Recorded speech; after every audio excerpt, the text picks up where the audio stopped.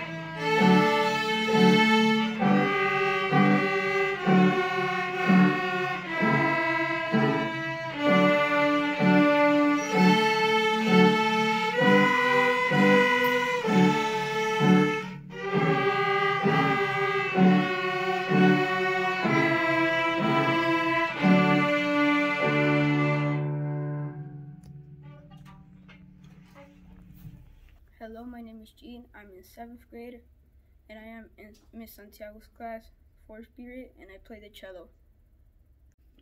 So, what is important about the cello is that you you need to know the notes and where you, and where you're supposed to put the fingerings. So-.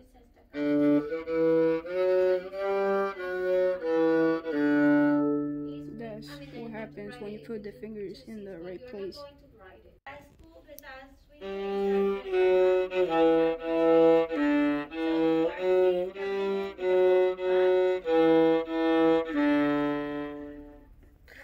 and welcome to Orchestra Intermediate. My name is Jesso Dominich. This class is mostly made up of very talented sixth graders, also a mix of seventh graders. Major goals for this class are learning the scales and vibrato. Today we are going to play Lightly Row, which is a very popular American song from the 19th century uh, and is very popular among German children. Please enjoy the show.